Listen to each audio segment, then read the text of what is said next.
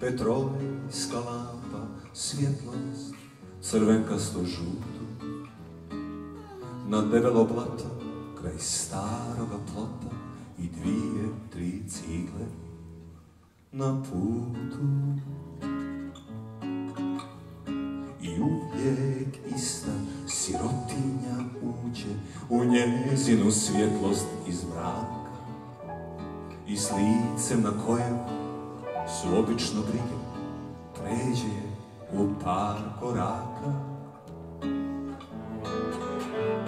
A jedne večeri nekoga nema, a moro bi proć i lampa gori, gori u magli i već je noć. I nema ga sutra, ni prek sutra ne, i veleba bolestan leži. I nema ga mjesec, i nema ga dva, i zima je već i sneži.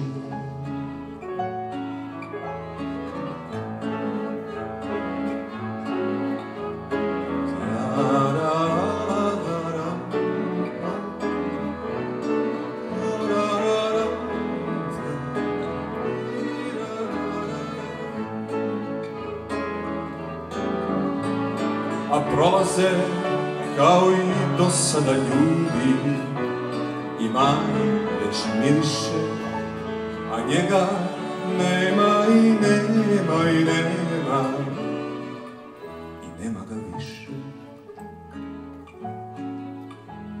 I lije na uglu petrolejska lampa Svjetlost crvenkasto žutu Na debelo blato kraj staroga plota i dvije, tri cigle na putu.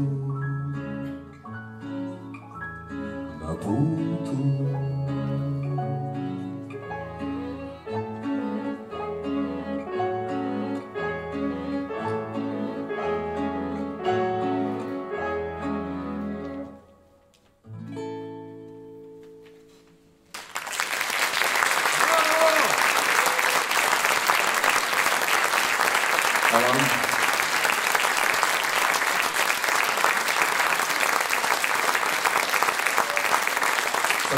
Redom.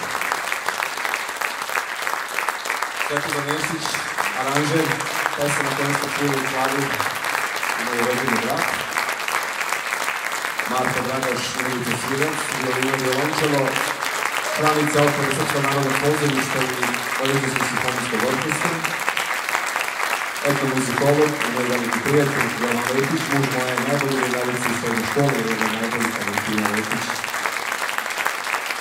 Fun.